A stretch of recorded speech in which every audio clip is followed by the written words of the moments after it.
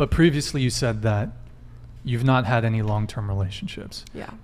But I'm sure there's aren't there guys that you know right now that would jump at the chance to be in a relationship with you? No.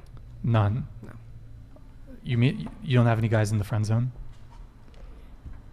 I'm sure. Oh, I'm sure some guys have like tried to talk to me, but then I just like don't like like them, or I don't find them attractive. Like, See, I think that's the problem with, I mean, the complaints about hookup culture is the guys that a lot of women are chasing after, the top 10, top 20% of guys, of course, they're just Well, going to say, come over. But there are guys that you don't find attractive that would be loyal, dutiful boyfriends, but they don't excite you. They're not a bad boy. They're not six foot five. They're not I think D1 the whole- baseball.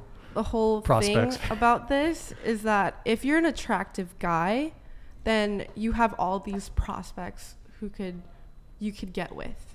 You're gonna have that ability to get with a lot of girls. Mhm. And if you're a guy, you're gonna be able to you're gonna be able to do that, and you will do that. If you're a guy that doesn't have all these options of women, you're gonna have to try an alternate route and try to date them. Try to be friendlier, uh, more approachable, be a nice guy. Let me just interrupt you really quick. While we have it up, Everyday Edgar says uh, with the $10 super chat, A cups don't get home, home cooked meals. Do you have a response? Put, put it back, Eric. Um, the response is, "I have gotten a home cooked meal, so fuck you, Edgar." Okay, Everyday Edgar, thank you for the $10 super chat. Much appreciated, man. Thanks for the ten bucks. Um, okay, so go ahead, continue with your point. Um, yeah, I'm just saying like like because of of these men being a certain level of more attractive than other men, they have more options, so they're able to indulge in this more hookup lifestyle rather Oh than God, what is this? rather than um, a man who has less options and he has to find a way that he can impress girls you know They went on the roster. Don't, don't worry about the chat.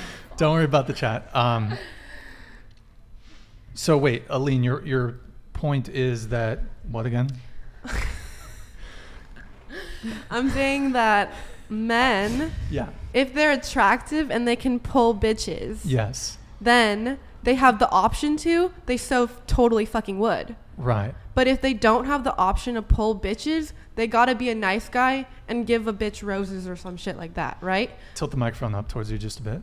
sorry um like if men can't get bitches they're gonna be nicer. Uh, but if they can they're gonna be a fucking dick and they're gonna fuck all the bitches they want and not want to commit in a relationship because they can. They do it because they can. It's not because i like the the bad boys or whatever. I like nice guys. But like the tra- there's no attractive nice guys because all the attractive guys are fucking dicks is what my point is. Okay.